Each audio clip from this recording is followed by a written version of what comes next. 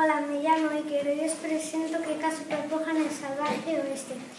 Los personajes principales son Kika Superbruja que un día se despertó y al lado de su cama había un libro de hechizos y se dio cuenta de que era de la malvada bruja Albiruja.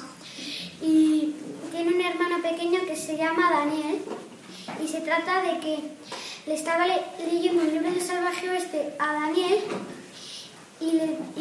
dijo ¿por qué no haces un hechizo y vamos al salvaje oeste? Hizo el hechizo, fueron al salvaje oeste. Y había una banda de malos que querían destruir la ciudad y el que dirigía la banda era Bobby Músculos.